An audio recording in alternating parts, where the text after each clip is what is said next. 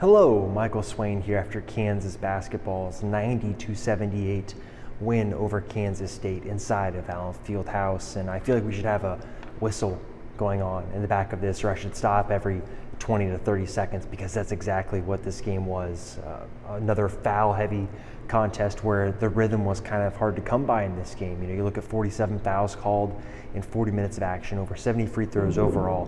Um, the discrepancy was very fine. It was very evenly called throughout the game, but just another one where the rhythm was really hard to come by for both teams outside of a a five or six minute stretch there in the first half. But overall, this is a really good win for Kansas. Kansas State is a really good team, and I think this is a Kansas game that they had where if they played Oklahoma State here or West Virginia here and played like this, this is a game that they would win by 15 to 20 and not the margin that it was and, and not the way it felt in terms of the closeness at times in the second half where K-State's able to get to six points and then down to eight later in the game. But overall, I think this is a team now that is playing with a little bit more confidence. I think when Kansas was going through its rut last week and about 10 days ago, I think you looked at the starters not playing at their best, and now you can say that okay, you know Grady Dick isn't necessarily at his best yet. Kevin McCullar maybe isn't as efficient. KJ Adams not scoring a double digits, but where that got made up in margin today was the bench, and that's where we have to start because I think for so much of this season the talk has been Kansas can't really get much from its bench, and there was a rotating door at center, right? Ernest Udeh starts the season as the first big off the bench. Then it was Zuby Ejiofor, and then Zach Clemence got some time, but none of them were really able to solidify themselves. And then a game like today where KJ Adams is in foul trouble, you get 15 good minutes out, out of Zach Clemence. You get some good minutes out of Ernest Udeh. He grabs six rebounds, a career high. He gets the one bucket around the rim.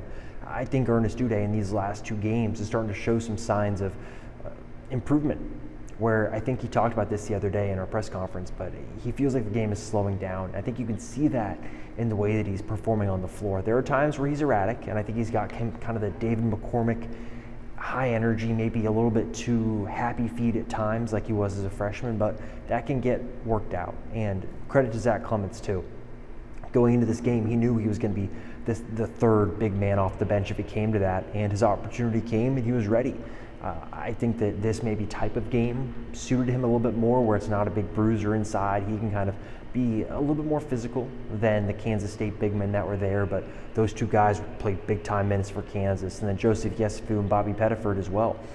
I thought both of those guys provided some spark off the bench. Pettiford too had a little bit of a scare with his hamstring. Bill Self said he's not sure what that's going to look like going forward, how it's going to react in the days to come, but he was able to get back in the game. And I think the bench is a big reason why Kansas is able to win this game by double digits.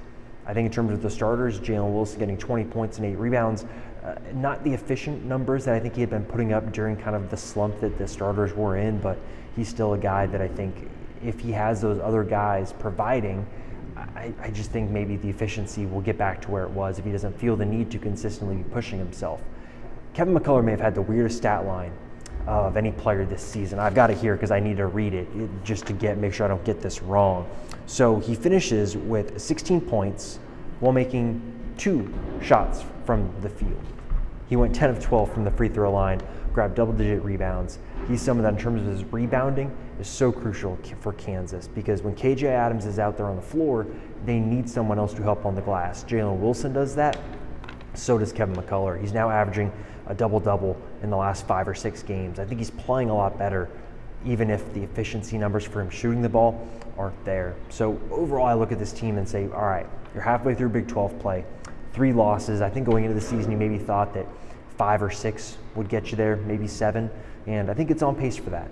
The road games are going to be really crucial. Can Kansas steal uh, a road game against kind of the top six, if you will? Um, you look at a team like TCU, Uh, Iowa State this weekend, Texas. There are some big road games coming up that I think Kansas is going to have to steal, and holding serve at home is going to be really, really important as well. So I think overall this is a performance Kansas can build off of. Really, it's going to be important to see if the bench can continue to play like this because you know what Grady Dick is going to bring you. You know what KJ Adams can bring you when he's playing well. Both of those guys had meh games today.